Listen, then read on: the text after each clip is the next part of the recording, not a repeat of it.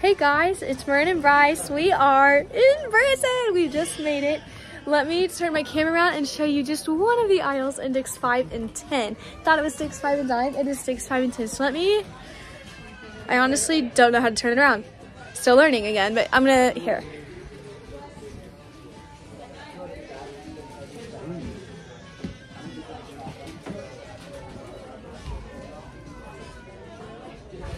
And that's only just a little bit. Bryce, you found a hat.